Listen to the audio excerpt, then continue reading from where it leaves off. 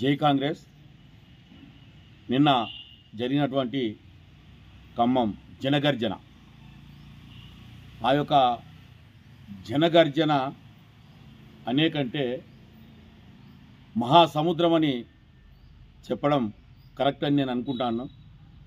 హిందూ మహాసముద్రము ఎంతైతే ఉందో అందుకు భిన్నంగా నిన్న ఖమ్మంలో జరిగినటువంటి రాహుల్ గాంధీ గారి యొక్క జనగర్జన సమావేశము మరి ఒక సముద్రాన్ని తలదన్నేలా మరి జనాలు తరలి రావడము ఆ సభకు సంఘీభావం తెలపడము మరి ఇదంతా చూస్తున్నటువంటి కల్వకుంట్ల ఫ్యామిలీ పిచ్చెక్కి మతి భ్రమించి మరి వాళ్ళు ఏవేవో మాట్లాడుతూ ఉన్నారు. ఒక్కడేమో కాంగ్రెస్సే అంటాడు. ఒక్కడేమో ఇంకేదో మాట్లాడతాడు ఒక్కడేమో ఇంకేమో మాట్లాడతాడు.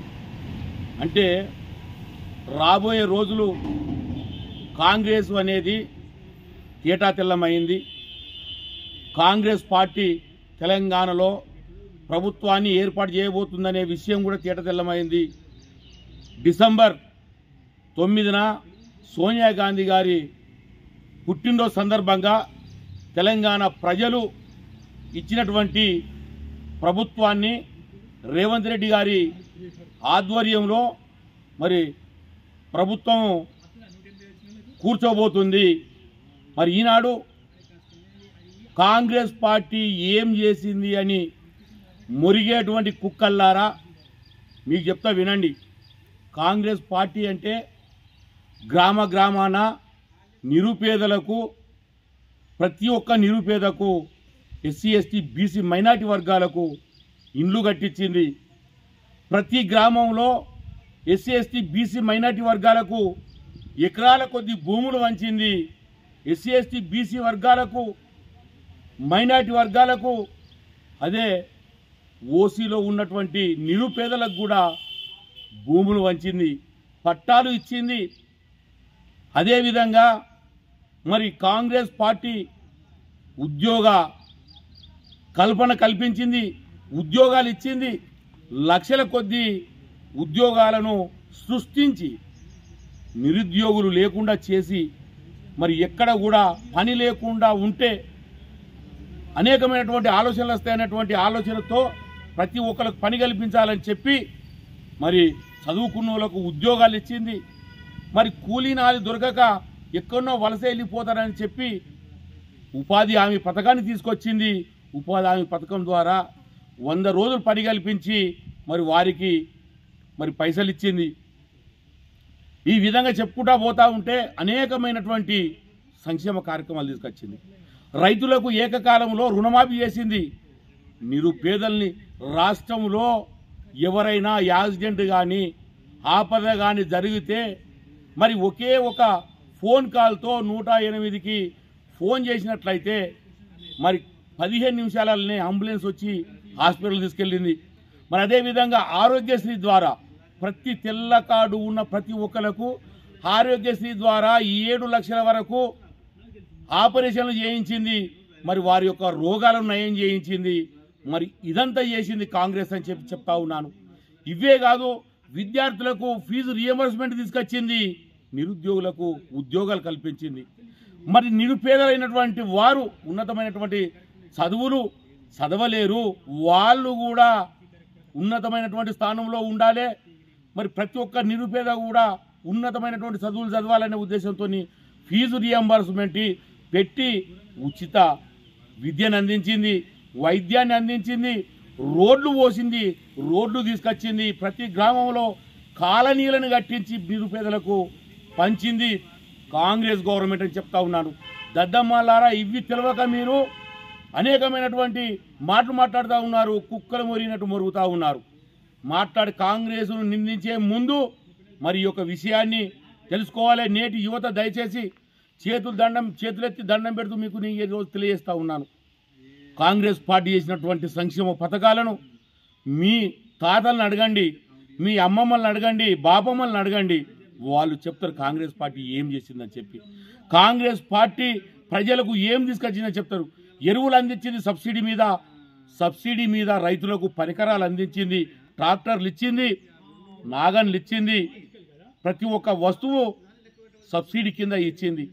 ఇన్ని కార్యక్రమాలు చేపట్టినటువంటి కాంగ్రెస్ పార్టీని ఇవాళ ఉన్నటువంటి బిఏ బీఆర్ఎస్ పార్టీ దూషిస్తూ ఉంది నిందిస్తూ ఉంది.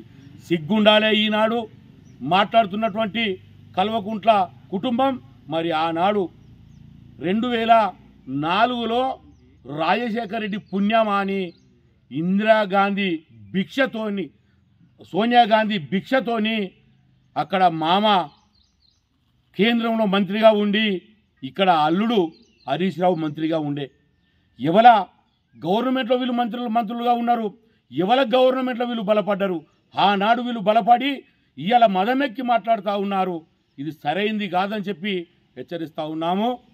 నిన్న జరిగినటువంటి ఖమ్మము సభతోని వచ్చిన జనాలు మీరు ఆ సభ జరగద్దని చెప్పి ఎన్ని అడ్డంకులు సృష్టించిన మీరు బస్సులు రానియకుండా చేసిన ఆటోలు రానియకుండా చేసిన వాహనాలు రాకుండా చేసిన రోడ్లకు రోడ్లు మీరు బ్లాక్ చేసి వాహనాలు పోకుండా చేసినా కూడా పది లక్షలకు పైన జనాలు తరలి వచ్చి రాహుల్ గాంధీ గారిని సమర్థించారు మద్దతు ఇచ్చారు బలాన్ని ఇచ్చారని చెప్పి చెప్ చెప్- చెప్తా ఉన్నాను.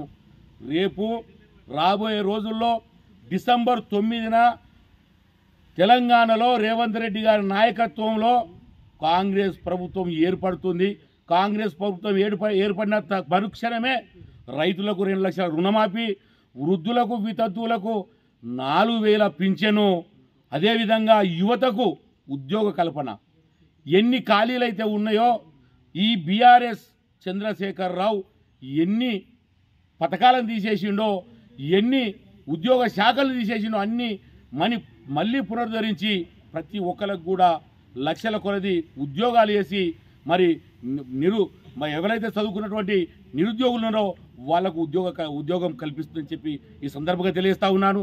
ఈనాడు ఉన్నటువంటి చంద్రశేఖరరావు ఫ్యామిలీ కల్వకుంట్ల ఫ్యామిలీ ఏం చేసిందయ్యా అంటే యువతని తాగుబోతులుగా తయారు చేసింది.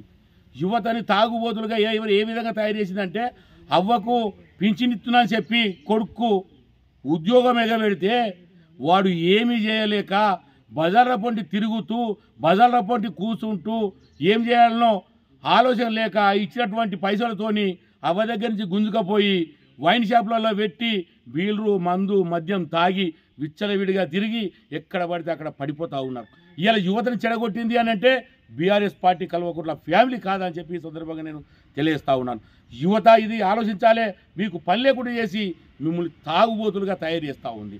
ఈనాడు రాష్ట్రంలో ఎగ్జాములు లేకుండా పరీక్షలు లేకుండా దద్దమలుగా తయారు చేస్తూ ఉంది ఇక్కడ యువతని. అంటే తెలియలేనటువంటి వాళ్ళనుగా చిత్రీకరించేటువంటి ప్రయత్నము చంద్రశేఖరరావు ఫ్యామిలీ చేస్తూ ఉంది. దయచేసి రాబోయే రోజులు కాంగ్రెసే కాబట్టి మిగతా వారు కూడా ఎవరైనా ఉంటే మనసు మార్చుకోండి. ఇక ఈ కల్వకుంట్ల ఫ్యామిలీకి చరమగీతం పాడండి. మళ్ళీ యథావిధిగా నిరుపేదలకు భూములు ఉండాలి ఇండ్లు ఉండాలి సబ్సిడీ రావాలి రుణమాఫీ ఏకకాలంలో జరగాలి. మరి అన్ని ఉద్యోగాలు రావాలనంటే కాంగ్రెస్ పార్టీ రావాలి కాంగ్రెస్ పార్టీ ఉండాలి కాంగ్రెస్ పార్టీ నిలబడాలి. అది ప్రభుత్వంకి వచ్చిన ప్రభుత్వంలోకి వచ్చినట్టయితే ఇవన్నీ జరుగుతాయని చెప్పి ఈ సందర్భంగా నేను తెలియజేస్తూ కల్వకుంట్ల ఫ్యామిలీ కూడా నేను హెచ్చరి హెచ్చరిస్తా ఉన్నాను. కాంగ్రెస్ గవర్నమెంట్లో ఉన్న రేవంత్ రెడ్డి గారు చెప్పినట్టుగా మీకు ఖచ్చితంగా చెల్లపల్లి జైల్లో ఒక్కొక్కలకు డబుల్ బెడ్రూమ్ ఆయన కట్టించడము నిజము అని చెప్పి సందర్భంగా నేను తెలియస్తా ఉన్నాను. తస్మత్ జాగ్రత్త. ఇక ఈ అధికారులు కూడా బీఆర్ఎస్ కల్వకుంట్ల ఫ్యామిలీకి కల్వకుంట్ల ఫ్యామిలీకి దద్దమ్మలుగా ఉంటూ కల్వకుంట్ల ఫ్యామిలీకి ఊడుగం చేస్తున్నటువంటి ఉద్యోగులారా ఖబర్దార్ మీకు కూడా శిక్షలు తప్పని చెప్పి సందర్భంగా నేను హెచ్చరిస్తూ ఉన్నాను. జై కాంగ్రెస్ జై హింద్ జై భారత్.